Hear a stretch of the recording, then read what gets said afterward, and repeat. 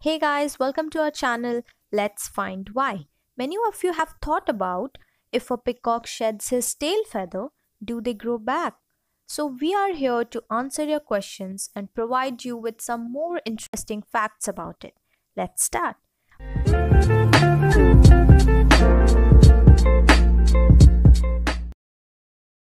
A large and brightly colored bird of the pheasant family, the male peacock, is predominantly blue and has a fan-like train feathers which bear colorful eye spot.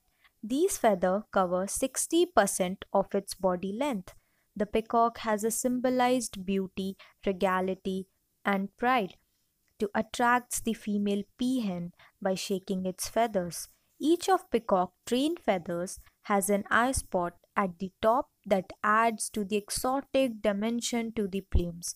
These spots appear blue, green, and golden to the naked eye, but in actuality, these have black pigments. It's the different angles of the nanoparticles within those fibers that reflect the sunlight to create iridescence. In rare cases, the peacock may be born without any pigmentation and appear to be completely white in color. Every year, towards the end of summer, peacocks shed their feathers as they tend to wear out and lose their functionality over time. This process of shedding feathers is called molting. The process of biological change is similar to that a snake shedding its skin. After the mating process, the hormones change, and from there, starts the molting process, which allows for the energy required to grow back these feathers. In about 7 months' time, peacocks grows back their plumes for the next mating season. During the mating season, peacocks shake their plumes and dance excitedly to lure a peahen who will be strolling around him. This mating dance is called shivering.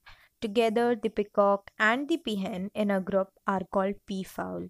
And though a peacock is a wild bird, it can be easily domesticated.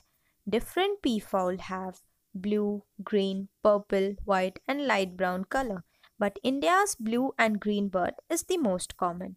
In India, a peacock is not only a protected national bird but is also considered sacred within the Hindu religion. Thank you so much.